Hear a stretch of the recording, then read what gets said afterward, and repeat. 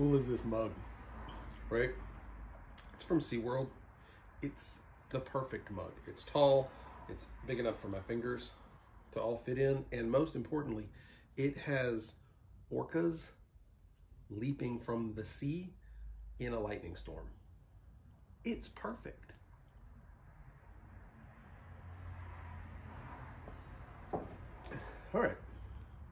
Thanks for joining today. We are talking about sockets. Not not actually sockets though. We're talking about the way that you keep your sockets. Whether it's in your toolbox, in your go box, or just in your workshop. How do you keep your sockets? So chances are when you first got your tools or when you get your first set of tools, it's gonna come in a blow molded case. It's gonna be something kind of like this. You might get a bigger set, like one of the Harbor Freight, Pittsburgh master sets, Lowe's, Kobalt, Home Depot Husky, something like that. But it's gonna come in one of these plastic blow molded cases. And I'm gonna be very careful when I do this. When you open them, that happens. That happens. That happens. Every single time that happens. They're made so that the sockets will kind of set in there, but they don't hold very well. Chances are real good on the cheaper ones. If they ever get upside down, even when you flip them back, they will have shifted and they spill out. Let me get that. All right, so yeah, blow molded case, that's where almost all of us start when we get sockets. Sometimes they're good enough you can kind of press down in there and you'll hear a little, but they don't hold. They, they pop back out and it's just the nature of the beast. And the more you take them in and out, the, the less they hold because that plastic flexes a little bit. And, but uh, a necessary evil. I don't use these for many things except for some of the unique bits and sockets that I use just because they're easier to keep up with in this in this way. Next, when you start buying individual sets of sockets, so maybe you have your tool box already or you have your case, but you want to supplement it. Maybe you have shallows and you need deeps. Maybe you're going to a different size. Maybe you just want an extra set to go in your uh, the box you take to the junkyard or your, your go box or keep in your car. You end up with something like this. And this is how they come from Harbor Freight, not painted red. This is the set that I keep in my junkyard toolbox and the one that I take when I go to friends' houses to work on things. And so I just shot it with red spray paint so that I know like that's my socket. When the stuff gets all messy and there's extensions and sockets and ratchets and everything sort of strewn around the car or in the garage, it's really easy for me to just go, that's my set. It's got the ugly red spray paint on it. Um, you also see, real quick, here's a tip. Some of the ones that I use more often and I need to grab more readily because for whatever reason, it's just not easy for me to recognize what size they are. I put masking tape on the socket and then I write on it real big with a Sharpie marker, 19, 17, 13s. And usually with my tins, I don't have it on this, but usually with my tins, I'll use blue painter's tape and wrap a little strip around the tins. That way I know that's a tin and it's a little easier to keep up with. But anyway, they'll come on a rail like this. Like this is the, the way it comes. It's hanging on the peg at the store. Um, this is pretty good. Like if your toolbox is big enough for this to set down in, for my junkyard box, I just leave them on this. Like this whole thing fits down in there. It doesn't look as great like in a toolbox and when you have a big toolbox and you're you're trying to maximize space in there, this extra tab at the end is pretty much wasted. You could I mean, you could cut it off if you left a little tab there, but now you're doing a lot of work just for an extra little rail in there. But you can keep them like this, and this is really easy. They just pop off. They have the little 3 eighths or half inch or quarter inch, whatever size they are, head. They stick on there, and for the most part, they hold pretty well in there. It's possible they'll end up loose in your box, but it, it takes a long time for that.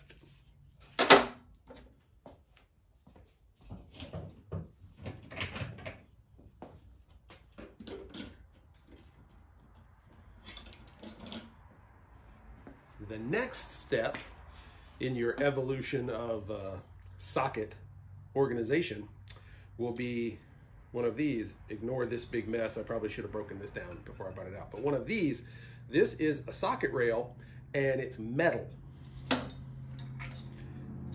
And what's cool on these socket rails, take these on, is you can kind of mix and, making a bunch of noise. You can mix and match what you put on here. If you get several of these rails, usually they come in a set or singles, they're super cheap.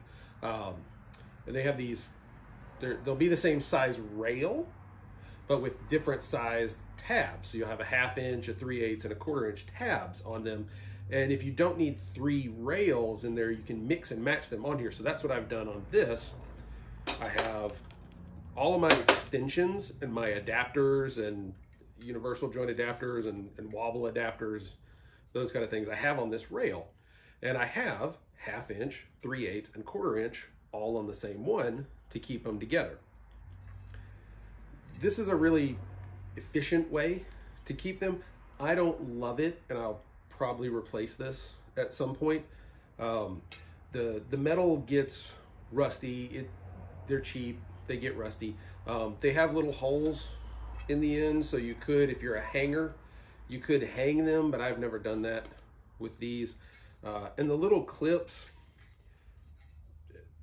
they're good. They're fine. Like that's that's how I want to describe them. The little clips are fine. They're not great, but they're they're good enough to serve this purpose. Now this thing right here, these are holding, but I'm going to tell you right now, not all of them do. Especially when you get into some heavier things like this, you know, three quarter extension or this, uh, excuse me, this half extension, um, even this sort of stubby half inch extension, uh, or these longer ones where they get more leverage on them as they tip. When you pick this up, they're gonna fall. Yeah. And I didn't use these in my toolbox because I found that too. These little tabs get bent after a while and they just don't hold the sockets very well. You can now you can take them off and bend them back out and stick them back on there, but that's a lot of work for something that should be just doing its job without much thought from you. So these are cheap. If you don't want to use these, you can go to these, but I uh, consider them sort of a, a step in there. I don't consider them the final thing that that you should do. And realistically, um, unless you have an absolute need for longer rails to put your sockets on, I would skip this and save your money until we get to one of the next things, until you're able to afford one of the next things we're going to look at.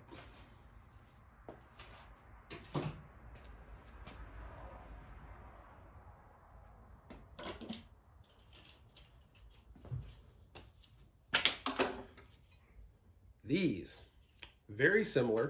These are socket rails. These are from Ernst. Uh, and the most obvious difference, first off, is that they're plastic instead of metal, and they come in colors. So one, if you just like colors, that's cool. You have several choices. Uh, also, if you want to differentiate between SAE and metric, uh, or, or whatever your coding system is in your box that you prefer, uh, the colors allow you to do that. They come in different lengths also. I don't remember what size this is. This is really overkill for measuring this, but uh, so this is an eight inch rail. And this is a 13. I'm sure they have longer and maybe even in betweens, but I got these. Um, I use these for uh, in, in, my toolbox when I'm not using the socket boss. I'll show you the socket boss in a minute, but these are great um, for some of the bigger runs of sockets that I have. Let me show you.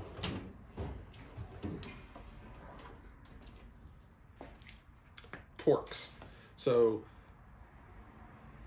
the Torx bits, I don't I don't need to have the I had the blow molded case of them. Uh, each of these were sort of different sets as I bought them as I needed them. There's some uh, the tamper resistant bits. These are impact bits. These are just others I had. This is a specialty one that I bought because I needed a longer one for a thing. And so like this, this one never had a home. It just came as a loose socket.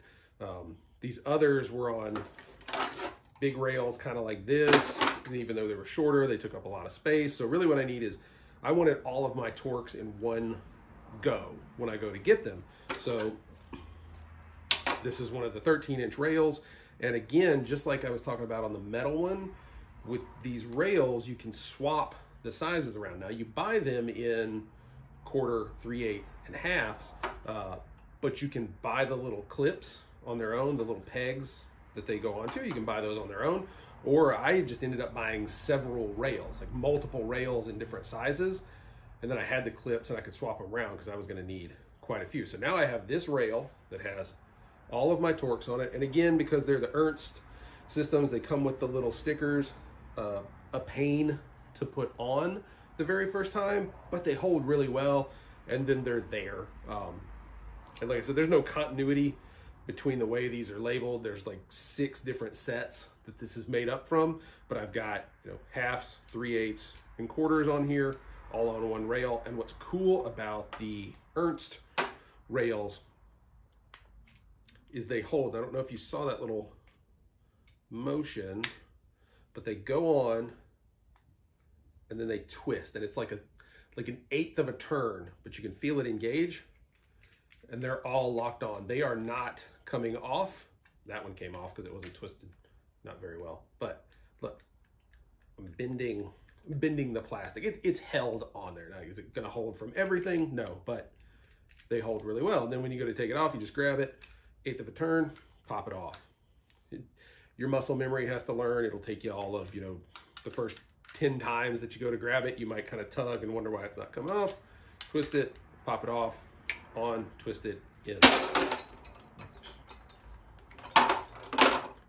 Coffee kicking in. Um, but these these rails are, are what I've upgraded to in my box now, and I absolutely love them. I love the that I can sort of interchange all the things. They they hold up well, and I like that they're color coded. I use a lot of blue in my box, but I also have my SAEs in red, and I just like them. This is what I prefer um, it, over the metal rails.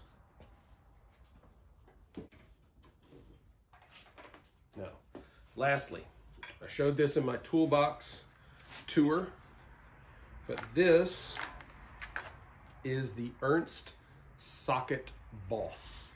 And I have kind of a weird accent, socket, socket, socket boss system.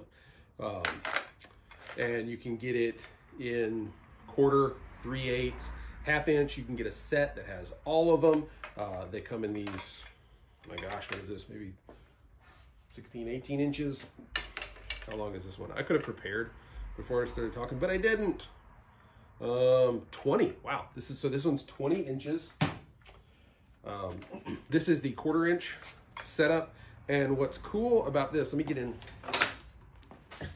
show you close. What's cool about this is, uh, besides all the little stickers and things, it comes with a couple of these uh, clips here that are for your ratchet handles uh, or your extensions and the, the rails sit in a tray so they're all together so you can take the tray out. If I know I'm, I'm working on something and I'm gonna need like my whole row of, of quarter inches, I can just take the whole tray, take it out.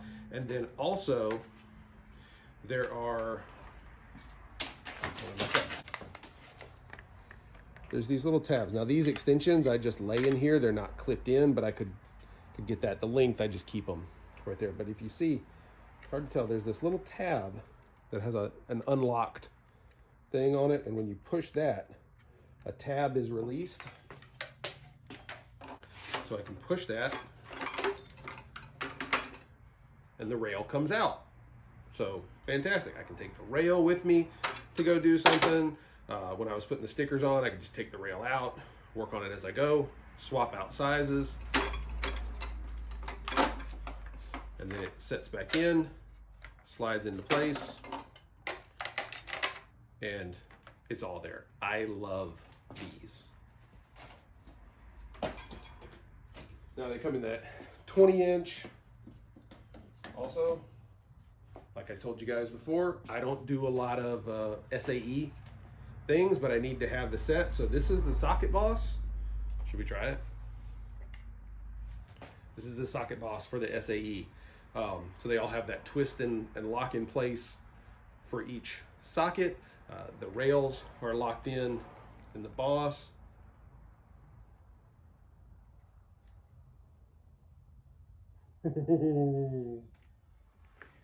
so, you know, if this fell over in your toolbox or something, or while you're working, you dumped it over, you're still going to say cuss words, but at least the sockets won't be spilled everywhere. So you got that going for you.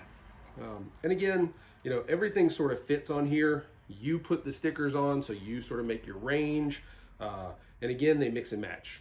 Quarter inch, three eighths, half inch, deeps, shallows. And like I said, now I've got this tray. If I know I'm going to be working on uh, some of the stuff on the Jeep is still SAE. It's a weird mix match kind of thing. Or if I'm working on a an older American car and I know it's going to be SAE, or I'm working on the the Craftsman shed that we have outside is all SAE, even though it's new. Uh, just grab this whole tray and go.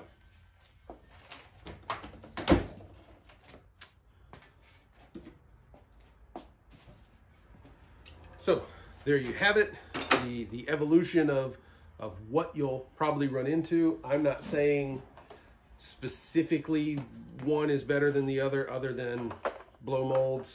Uh, if it's your primary toolbox, get away from that as soon as is financially reasonable for you. The metals, they, they have their place. Um, and if you just need cheap rails to put stuff on, these work. They, they do work. I just don't think the longevity is there of them. They do wear out. But again, they're so cheap, you can replace them. And what, what's so great is that these allow you to mix and match those sizes, really as any of the rails do. Now, interchangeability between brands becomes difficult. So if you are going to move into spending your money on a on a rail system, I would I would encourage you either to buy one piece from several of them and try it out and see what you like, or just commit from the start to to a setup and just buy everything from that setup because that's going to ensure that like these little pegs that come off only work on the Ernst system. They do not work on other rails. So that you've also got Olsa uh, and, and a few others. Even Harbor Freight has them now. They have the it's sort of a tray with like a little peg that sticks up that you can set the sockets on. Those work great too. I just like the rails uh, because they keep everything a little bit more secure. Uh, and you can, if you're not sure what size you need, it's easy to pick up and take it with you to the car or to your uh, work cart or anything like that. So if you've got a system that you enjoy using, put it down in the comments. Uh, if you have something uh, mildly rude to say about the systems that I use, that's fine too. Put that down in the comments. Uh, and if you have any questions, put those in there as well. If you found anything in this video interesting, even if it's the Orca mug, uh, give it a like, uh, and please consider subscribing. Thank you so much. See you next time. All right, how does that look? Is that better? All right, I think so. I think that's probably better. All right, still recording? We're like a minute in. Crazy.